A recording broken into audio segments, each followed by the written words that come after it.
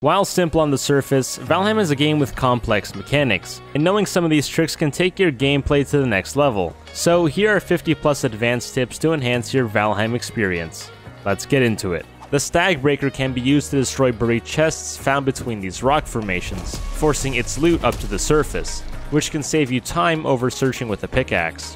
The Stag Breaker can also be used to find silver in the mountains before having acquired a wishbone, just keep an eye out for the too hard text popping up, and you'll know you found some. Dirt clipping through floor tiles can give you the ability to place a campfire on it. Afterwards, level out the dirt, and you now have a campfire on a floor tile. You can use bosses or larger creatures such as trolls to get resources such as wood or even ores at a much faster rate. If you activate a Forsaken power by accident, you can quickly jump during the animation to cancel it before the full activation.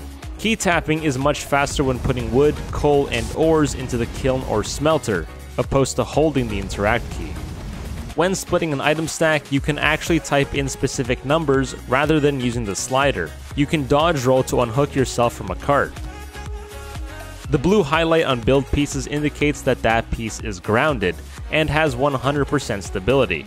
Building on the side of trees provides the same effect making them the best option for building tall structures without worrying about stability. On top of that, some trees in the world are completely indestructible, making them even more ideal foundations to create a base on. Use wooden beams around the frame of windows to give them a more polished look. Alternating floor tiles can be a good way to add an extra layer of detail to your builds. Create terrain walls using the hoe to protect your base in dangerous locations, as they cannot be damaged by creatures. Build proper defenses to house tamed animals. This will prevent the eventual heartbreak and hassle when certain enemies find a way in. Turn on friendly fire in the top right of the inventory screen. Then use a harpoon to latch onto tamed animals, making for an easy method of transporting them. Tamed animals can also be transported overseas using boats, the longship being the safest due to its larger surface area. Or if it's a shorter trip, you can just do this because that's totally humane. When foraging, you can turn down your vegetation settings to find mushrooms and other supplies more easily. When planting crops, toggle on walking, look down at a 45 degree angle, and begin spamming primary attack. This will give you perfectly aligned spacing in between each crop. Flax and barley can be harvested using weapons, the Atgeir special attack being the most efficient. You can go to sleep to speed up the production of coal, smelted ores, meads, and crops. You can hop between worlds using the same character to quickly transport ores. This can be considered a cheap method, but I included it for those who may be short on time. And for those who may need it, here's a seed with an incredibly close swamp crypt just south of spawn.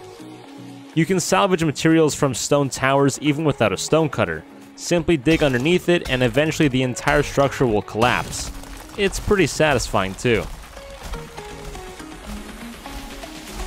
When digging out a trench or moat with a pickaxe, always hit the lowest part of the wall to immediately level the entirety of it to that height.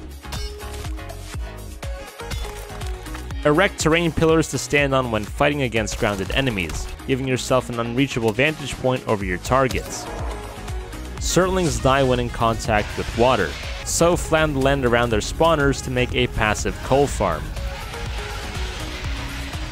You can throw Surtling cores into a bonfire to create fireworks. Put the Surtling cores in your hotbar and press the corresponding number while looking at the bonfire. And just like that, you can liven the night. Use a stag breaker in crypts and dungeons to damage enemies and spawners through walls. You can also use campfires in tight dungeon halls to create a choke point and inflict extra damage. Standing on the entrance ledge of any dungeon, with the exception of caves, will keep you protected from any melee-based enemies, as they cannot get up. Campfires can also be placed in these entrances to get an easy 10 minutes of the rested buff. Just make sure there aren't any enemies nearby as they will prevent you from resting. Pickaxes do more damage when mining directly above an ore rather than from the side. Digging under things like a rock or metal vein can create shelter from the elements, and serve as a roof to house a workbench. The same can be considered as a good way to make a quote-unquote cave or underground base. The Elder's boss fight landmark probably serves as the best location to create a true underground base, as the entire ground below it can be hollowed out. Consider mixing and matching armor sets to gain multiple unique buffs simultaneously. For example, a root chest piece for resistance against Pierce, Fenris leggings for some extra movement speed, and a wolf cape for resistance against Frost, although you may lose points for style. Sheath weapons and tools by pressing R to put them on your back, allowing for quick retrieval when you need them by pressing R again. Hold down secondary attack when fighting creatures to keep your character facing the right direction, acting as a good way to track them. Simply let go and press it again to quickly parry an attack. Quickly switching to your hammer and putting it away is the fastest method to sheath weapons and tools as it does not have an equip animation.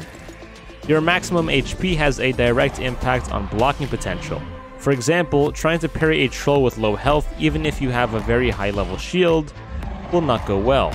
Use a harpoon or wooden arrows when hunting birds as they are more cost efficient, not requiring feathers to craft. Fish can survive in the water inside of hot tubs, and since pufferfish inflict poison damage, it makes them an ideal candidate to put at the bottom of moats. Set up and bring a temporary portal with you when exploring new areas far from base.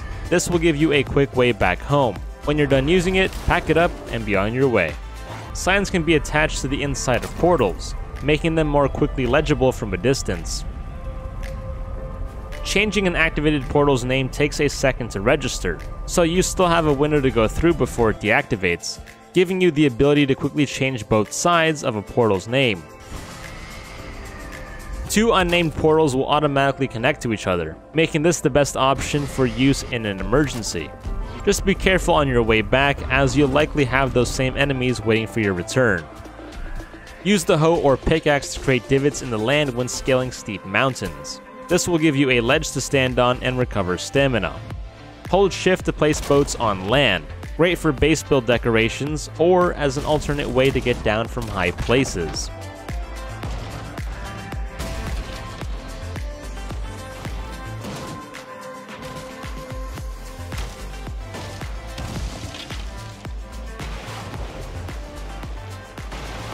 Lure serpents towards shore before killing them. This will prevent their scales from sinking to the very bottom of the ocean. Jumping into water from higher heights will allow you to reach deeper depths, useful when retrieving sunken items. Serpent meat and any other lootable items floating in the water can be picked up by simply riding over it with a boat. Leaving workbenches on the coast of regions you sail past often can be used to perform quote unquote drive-by repairs on your boat. Logging out when on a sinking Leviathan and then logging back in will reset the sink timer, providing you with a longer window to harvest chitin. And tip number 55, rugs or banners can be placed over gaps in walls or floors to create hidden entrances. So there you have it, 50 plus of my most advanced tips to take your Valheim experience to the next level.